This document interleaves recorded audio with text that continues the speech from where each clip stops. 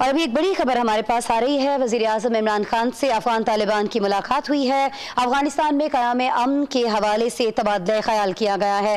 नाजिन, आप जानते हैं कि इससे कबल तालिबान का ये वक्त वजी खारजा शाह महमूद कुरैशी से मिल चुका है। वजी खारजा शाह महमूद कुरैशी ने ही इस बात का ऐलान किया था कि ये वक्त वजी अजम इमरान खान से भी मुलाकात कर रहा होगा।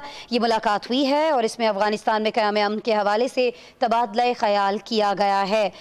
जी वज़ीर अजम इमरान खान से आज तालिबान सियासी कमीशन के एक वफद ने मुला अब्दुल गनी ब्रदर की सरबराही में मुलाकात की है जिसमें अफगान अमन अमल और मुस्तबिल के मामला जो हैं उन पर तबादला ख्याल किया गया है।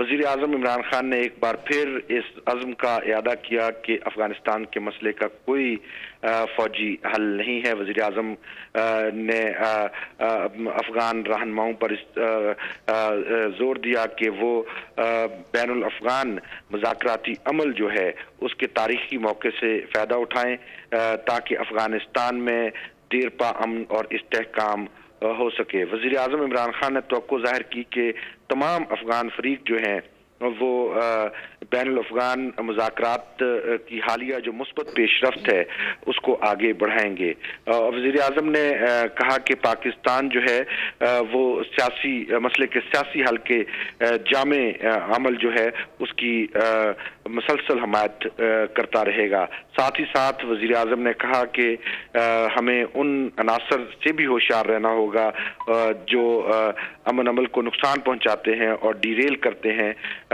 उनके किरदार को हमें देखना पड़ेगा।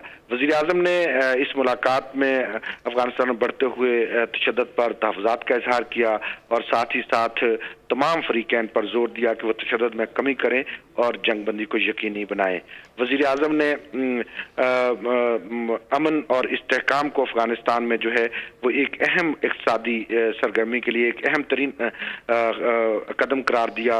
उसने वजी अजम का कहना था कि इससे जो इलाकई रबते हैं उनको फ़रोग मिलेगा। जी। सही बैन अफगान, अमन मुजाकर से फ़ायदा उठाया जाना चाहिए, ये वजी अजम ने इस मुलाकात में कहा